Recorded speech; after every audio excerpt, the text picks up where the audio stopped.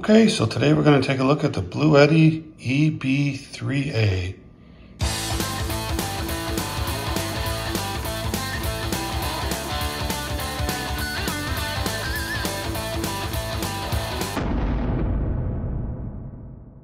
You know, one of the things I don't talk about much in my videos is our prepping that we do. We are prepper stackers and we do prep and we have a lot of things towards our prepping. Of course, like stacking, there's always more that we want. But one of the things we picked up over the holidays was this Bluetti EB3A 268 watt hour solar generator. Its capacity is up to 600 watts, which you can see down here. And it's pretty cool. It's an entry level device but it can do quite a few things for as small as it is. It only weighs 10 pounds. It's very light. You can take it with you very easily. And you can see here the display. We're showing no input, no output. It's 88% charged. And the DAC is on because I've got this light on down here. You can see when I hit that button, let's do it again with that displayed. See the AC comes in and the AC goes off. It's an eco mode and that we'll talk about later and we'll show it in the app when I show how to use the app. But what can this thing do? So we have two AC plugs. We have a DC in, like for, you know, a lighter like on a car.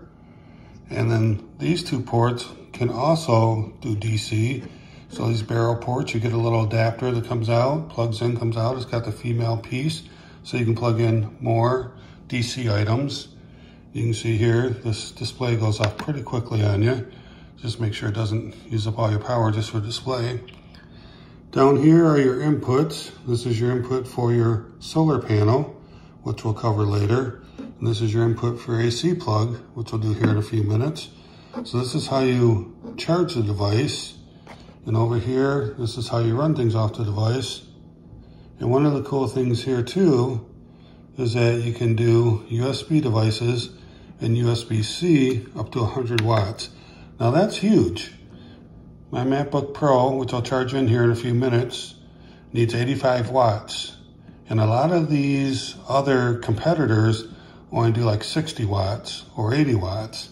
100 watts is a really nice ability. Now this is for charging. You cannot take my MacBook Pro charger and plug it in here to charge the device this is only a power unit. It's only distributing power. You can, cannot charge through it. then again, we have the normal USB-A. These are called A, these standard USB ports, and this is USB-C, the newer ones that's been used for a while. And then on top, we also have the ability to wirelessly charge. So why don't we go ahead and, and charge some things here and see how this works, okay?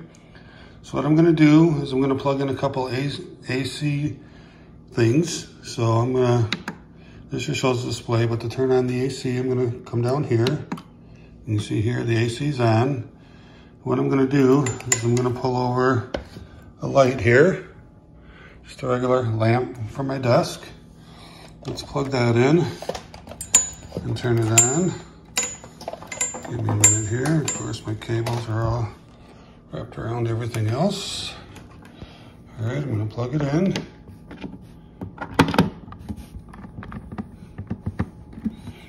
Right, I've got this thing set up on an angle here. That's what I'm using this little black box for, so it's easier to catch with the camera. All right, so again, here's the light. Got it plugged in. Let me turn it back on right now. The light's off. No output. Let's turn it on. Light is on. We can see here, Bluetti is providing 10 watts of power to power this lamp. So that's pretty cool. So next thing I'm gonna do is a pencil sharpener. Kind of weird. I doubt you'd really use one when your power's out. You might, right? Maybe pass your time while you're doing some drawing. But I thought it would show a good, you know, pull on the AC when the pencil gets sharpened. So I just got this thing off my desk. I already plugged it in. And let me get the display panel back up. You can see there's still nine watts being used from the lamp over here. So let's plug the pencil in and see what it does. Keep an eye up here on your output. see what kind of output it's gonna put on this Bluetti.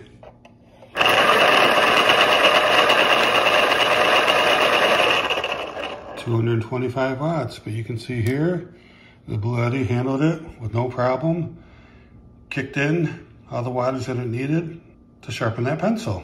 So that's pretty cool. Now, I wanted to get, you know, real life examples. You know, this thing will power your modem, your computer, your router, your TV. I mean, this little device, if you want to go looking online to some other YouTube channels who've already done those tests, this little device can power all those things plus a refrigerator at the same time. Now, the refrigerator will put a decent draw on it, and the device might only last three to five hours. Depends on how efficient your refrigerator is, but it can do that stuff. If you had a short-term power outage, you would be able to plug your refrigerator in right here, one of these plugs, and use it for several hours to keep that thing going.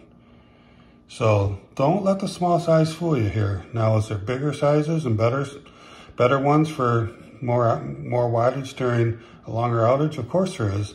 But to get into it, I wanted to buy a device, see how we used it, see how we liked it, see how well Bluetti works. And I have to tell you, I really like the Bluetti line. There's plenty of competitors out there. I'm really surprised how many different solar generators are out there. There's a lot of them.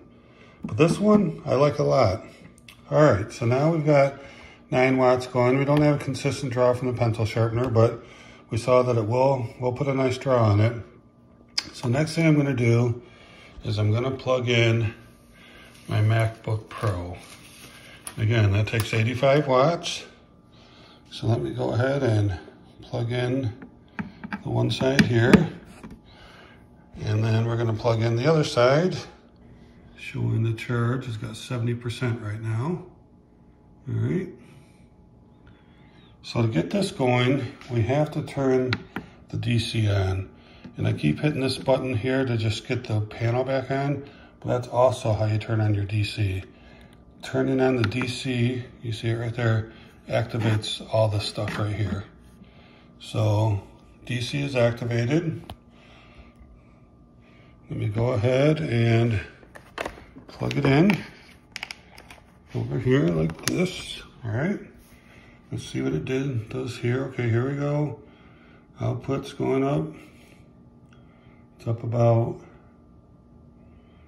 yeah, only 28.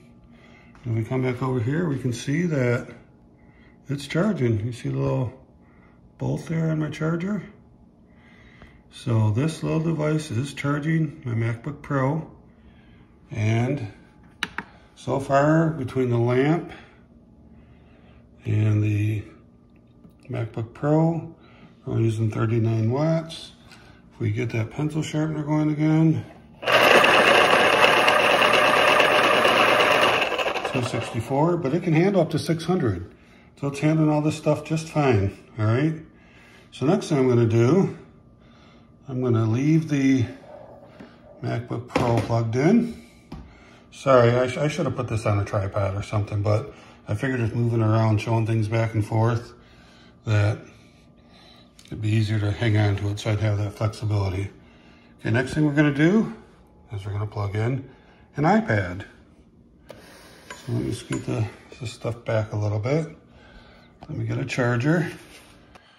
Okay, so let's get this iPad charging. Got it sitting right here. So we're gonna use this USB-A cable. We're gonna plug it in over here, like so. Turn on, see where we're at. We're at 54 watts, so the MacBook seems to be pulling a little bit more power right now. Let's take the other end of this cable, charging cable, plug it into the iPad, like so. You can hear it just dinged, and it is now charging. You can see a little lightning bolt right there. And let's look at our thing over here. So now we're up to 58 watts. Still have 86% left on this thing, saying 3.6 hours left of charge for everything. It's an estimate, of course. Just went down to 85. All right, so what do we have here? We got quite a bit going on. We got our MacBook Pro charging. We got an iPad charging. We got a light plugged in. We got a pencil sharpener plugged in.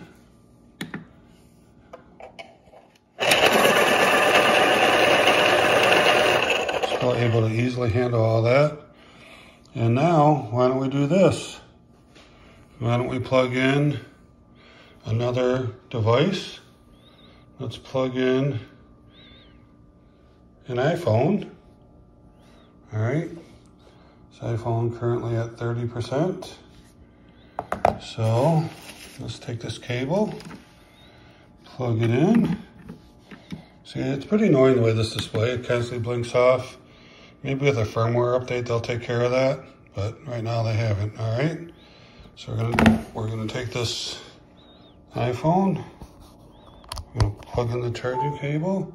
You heard it ding. You can see it's charging.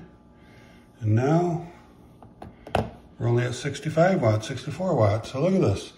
iPhone, iPad, MacBook Pro, a light are all charged in there. Plus, we know the pencil sharpener, but it's not constant draw. But so far, that's quite a few devices for the family that I plugged in while the power's out and needing to get a charge. So let's do one more thing. I don't know if this is gonna stay on there because I got the machine on an angle, right? But how about some wireless charging on top? There you go. You can see it's charging. You can see the output, 66. So now we have one, two, three, four, five devices charging and we're only at 70 watts. And this thing can go up to 600 watts. We can plug in a TV, we could plug in our modem, we could plug in another light, you could plug in a fan. A fan would be a great thing to plug in. Now fans, you know, can pull some wattage depending on the size of them. But still, you could get your fan running here for a while. But I really love this little device. This thing is, is uh, really, really awesome. And you can usually get it for a discount. I will uh, go ahead and bring up some pictures here of some screen prints that I pulled off the internet with it being on sale. It's very frequent you can find it on sale. And then later we'll talk about the solar panels those things are awesome too. This thing charges by solar. This thing charges very fast with solar power. Plus, you can charge it while you're using it. Some of these devices, you can't do that. So let me go ahead and just take this phone off because I don't want to slide, slide onto the granite. So if I want to charge this up, let's turn this back on so we can see the display. Here's where I plug in the AC plug to charge it. Sorry, I'll have my camera going a little crazy here for a minute. It is plugged in now, so we're charging, AC charging. You can see here, this is pulling in, this is the input now. How many watts are being used to charge it. And then over here is the output. We can see this little band here showing that it's charging. It's at 83%. And now it's showing that it's only gonna take 0.2 hours to charge it. So that gauge changed on the bottom there. So out of my AC outlet, we're pulling 263 watts right now. It's charging and it's outputting at the same time. And again, I, this is fairly common nowadays for a lot of them, but make sure if you go out and you buy one, you check but some, because some of them do not allow you to uh, plug into them while they're charging. So that's an important feature to look for. Now, while this AC is plugged in, I can also plug in the solar panels. And I could have like 450 watts charging this all at the same time. And that's, that's critical because that means you'll charge up really quick. So you can do both if times are good. Let's say your power came back on, you know it's only gonna be on for a little while. Get it plugged into the AC, get the solar panel going, get it supercharged, and be done with it. All right, so this is really nice. I really love this device. Again, it only weighs 10 pounds. So I can carry the boom boombox to the beach with you. You could take this to the beach to be charging your devices while you're sitting out there. Take it camping with you. Um, it also comes with a the ability to DC charge as well. So on the same port that you plug your um, solar panels into right here. You also have a DC charger that you can plug it into your car. See the end of the port right here. Sorry, right there. Plug that in, plug this into your car charger. You can charge it in your car as well. Now my car has a plug in the back, in the very back, where you would put your luggage or whatever back there. Also has a, a DC charger, so you could just throw this thing in your back seat, charge it up. Now one thing I wouldn't do, this charger is a little small, there's some bigger ones. One thing I wouldn't do is have your car off and be charging it because it potentially could drain your battery. So driving down the road, things like that, that's perfectly fine. So this, this did not come with the device. I had to buy this separately. It was only 10 bucks, bought it directly from Bluetti. So only 10 bucks. But this, we'll talk about this later in the video. This is the solar panel charger that plugs into here, and then the other two ends here go into your solar panels. Those are, this, this, this converter did come with the device. So you do get this, and, but you just get that DC charger. So it's humming a little bit from charging. I'm gonna go ahead and unplug it because you don't really need to be charging it right now. It's got plenty charge on it. So that's that's pretty cool, huh? This is a this is a pretty cool device. I like it a lot. Now what I want to do is I want to get a big boy and oh, listen that fan kicked on. So it does get a little noisy. Got the vents over here. Not too bad though. I mean, certainly just some white noise in the background. Um, you can see it's only uh, outputting 54 watts, up to 61 now. So one of the things I'd like to do is I'd like to get it uh, bigger version of this. Bluetti has one called the ACP 200 Max.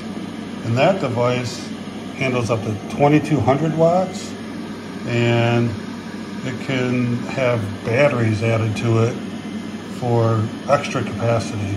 So it has ports on the side where you can like daisy chain and batteries and you can get, you know, just some fantastic times out of it. Now, if I had one, I'd review it. I'd review it for you because I'd really like to have one to review because that that device is a monster and would definitely meet most of your needs in the in, in a power outage. Now, you get one of the generators that you know go out there and you know feed it full of gas and run it outside and it's nice and noisy and but this you could put inside your house. It's it's a solar generator, right?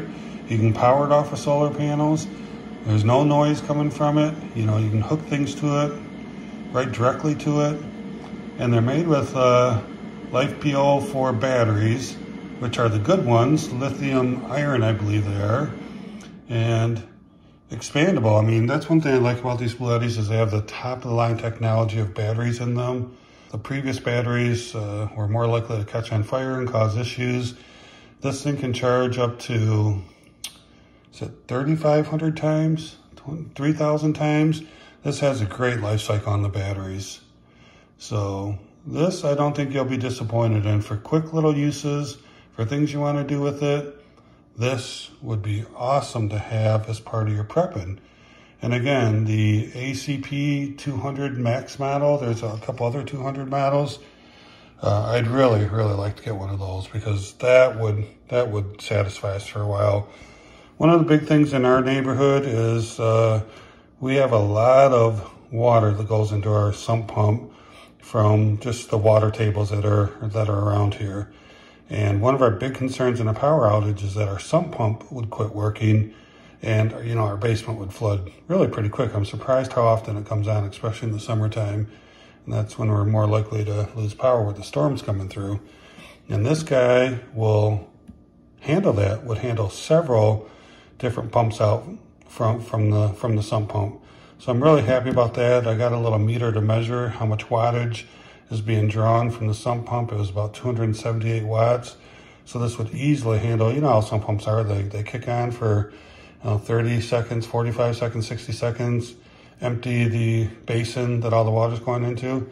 Then it turns off and it waits till it has to, uh, to pump out again. So this little guy would definitely hold us over for quite a while. And, you know, in the meantime, I could, you know, throw some solar panels on it and get it charging back up for us for a little bit. So yeah, so here we go. Still charging all these, still got my light on, still got my iPad, my MacBook Pro, still charging the phones, and um, this little guy is doing the trick. So let me know what you think about this guy. Any comments below will be welcomed. Let's go ahead now and talk about the solar panels. Okay, so we have the Bluetti EB3A. First thing I want to do is apologize for the outside noise. We have the neighbor's kids outside playing, which is awesome. You know, February, sun's out in Michigan, 44 degrees. it brings us out, spring fever, all right? So what I'm gonna do is I'm gonna show the solar charging with this cool little unit. You see right now, we're at 89% battery. It says 30 hours left on it. I wish I had more battery utilization so I could charge more, but I think we'll get the point across. Okay, so here you can see the setup. It's a Bluetti 120 watt solar panel. And it comes with this cable that uh, comes out of the back of it for you to plug into an adapter. So the cable's right here. This one's coming from the Bluetti device. This plugs right into the back of it. And you have these cables that hook up to an adapter that you can plug into your device. So you got this thing charging. And this adapter comes with the Bluetti, comes in the box. And this comes, you know, part of the solar panel. So if you buy the solar panel and you buy, buy the solar generator, you don't need anything else for its basic functions to charge with solar panels. So that's pretty cool. But again, we're in Michigan around noontime. And so, you know, Michigan's not a great place for solar devices. You can see here, we're charging and getting 180 watts out of that solar panel. It's about 1205. We're gonna see how long it takes to charge us to 100%. Now, the deal is, you could still be using this to charge things while you're solar powering. That's the beauty of of these solar generators is that they can charge and be charged at the same time. So we can use this. This also has an AC power cord and I could have the AC power cord and the solar panel plugged in at the same time so it could be dual charging. Now this panel shuts off pretty quickly, but we can see here, it's still at 108 watts, which is actually pretty impressive. You can just see we just went up to 89%. So we've already charged a percent in a minute, minute and a half. All right, so here we go. Pretty easy to hook up. This adapter that came with the unit comes with it.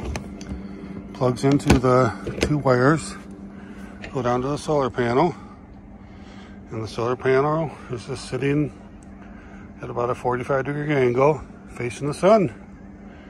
And again, Michigan is uh, not really the uh, warmest place with a lot of sun. We can see here, charged up to 90% charged at 107. I'm really impressed with the 107. If you see some of the other videos, you'll see a lot of people don't get that type of wattage out of their panels. These panels came from Bluetti. They're made for the unit, but you don't have to use specific brands. Almost any solar panel will work with these things. And the Bluetti would work with other companies' solar generators as well. So we're at 108%. Only been going for a couple minutes. Already charged, not 108%, 108 watts. Now we're down to 107 watts. We're at 90% charge. It's showing here that it should take about 0.2 hours to charge up fully. You can see a little graph there showing you where it's at on the charging scale too. So pretty cool. So let's let this thing charge. I'll be back in a little bit and we'll see how long it takes. All right, so it's about 12.16. Been charging about 10 minutes. See the panel here. All right. You can see in 10 minutes time, we've gone up 7% on the charge. It's 110 watts, 109 watts, coming out of a 120 watt solar panel, which is actually fantastic. Let's see if I can capture the sun here. It's right up there. Pretty high spot on, right on top of us. So I got a good angle for the sun. And this is, you know, an entry level device. We've talked about that. So it's not real big as far as battery. But it's it's exciting to know that in you know just a few short minutes you can get you get this thing charging up pretty nice. So that's pretty cool. All right, so about 10 minutes, 11 minutes into it, we're 95% charge. I'll check it out again here in a few minutes. So what is this little device I have in this box? I'm going to show you. It has to do with the solar panels. So let me go ahead and unbox this. I do not have my tripod with me, so I can't really hold on to my camera. And at the same time, I want to see, maybe I can. All right. So this is what we have inside the box. Looks like that. And I'm gonna go ahead and take it out of there. All right, so here we go. So what you see, it's got a little clip on the back if you want to clip it on. Usually I don't, I just use it to measure. And what you're supposed to do is measure up the dot with the sun. So let's get over here in the sun. Can you see that little dot? How the dot on top creates a shadow down on the bottom. What you're supposed to do is you're supposed to line your solar panel up so that that dot matches down in the center. So can you see that? Can you see how that is? It's showing you if I were to, now the sun's glaring off it, rack it over just a little bit. That's gonna be your perfect angle to get the sun's power into your solar panel. So I'm off just by a little bit. Um, a little bit of tweaking on my angle would make this perfect. So this is a really cool device. It's very inexpensive that you can use to check the angle of your devices, of your solar panel devices. All right, and we can go back to here and see how well I'm pulling with 120 watts. Right down now it's gone down to 97 on 109 Ah, it went down because I stepped in front of it, right? Blocked some of that sun from the big guy. But we're back up to 110. What's the most I can generate is 120. So I'll tell you, that's pretty impressive for a Michigan sun. We're already up to 97%, about 15 minutes into it. So yeah, that's pretty cool. But this will help you out a lot. If you're out camping, you're out doing something, depending on the time of day, line this up with the sunlight, see where you're at for your angle on your panels. This really helps you get the maximum charging depending on where the sun's at for the day. So yeah, this is a pretty cool little device. It's from EcoFlow, Solar Angle Guide. Bought off Amazon. Wasn't a lot of money, maybe 20 bucks, 15, I don't remember now. But it wasn't a lot, and I think it's pretty cool to have to make sure that your solar panels are aligned right. Especially in Michigan, where we only have a short amount of time throughout the day to get the maximum sun angle onto our solar panels. So you can see, just went up to 98%, and we'll check back in in a few minutes. Okay, so here we are, less than 20 minutes from me hooking up the solar panel. We've got 100% charge. Shows that there's about 30 hours worth of life on it, which probably isn't true. It depends on, you know, what you're plugging into it. See, we're no longer charging, even though the solar panel's still plugged in. There's no input because it's 100% charged. So less than 20 minutes, charged 12% of the battery right back up to the fullest. And you know, we've talked before about this being an entry-level unit. You're not going to get a ton of stuff. We have a few uses for it. But before before we went out and bought a bigger unit, one that could run you know many things in the house, maybe a you know, 2000 watt, which we're definitely interested in. We wanted to get a smaller one, check it out, see how it worked, and made sure it was something that we could understand how it would work for us. You know, check out how solar panels would work on it, and just make sure that it was uh, something that we could definitely get into and could use. And, you know, being in Michigan, making sure that the solar panels would work for us. And in the middle of the winter, uh, to get it to charge at you know, 110 watts with a 120 watt solar panel, it's pretty cool. Definitely uh, thinking this is going to work for us. So that's the testing for the solar panels and how well they work.